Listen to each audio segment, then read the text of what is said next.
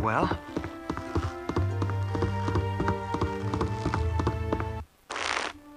Very well.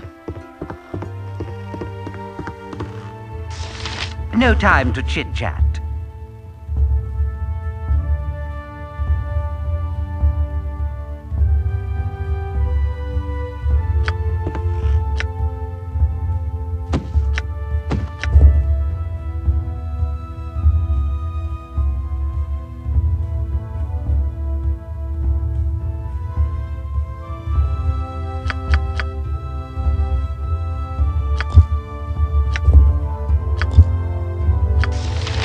No time to chit-chat.